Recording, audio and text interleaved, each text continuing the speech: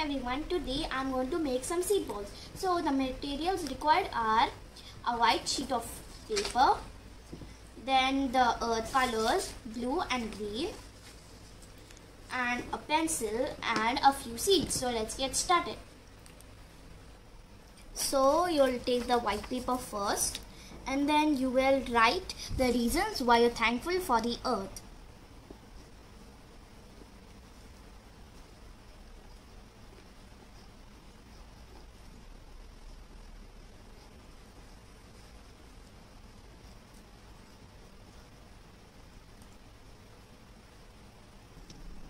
So I've written the reasons why I'm thankful for the earth. So now we're going to take all the papers and we're going to tear them in bits one by one.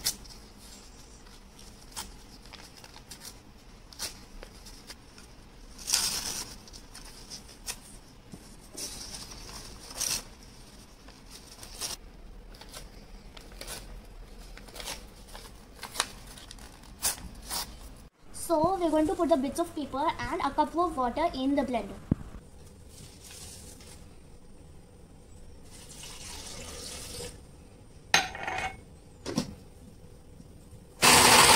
to drain the water, the water from the mixture.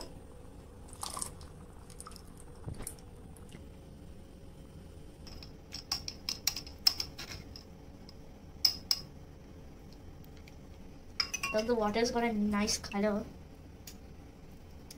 So now we're going to take the texture and the mixture and then some of it. So we're going to take a few seeds, any type of seeds. They can be vegetables, fruits or even flowers. And I'm going to keep them in the mixture.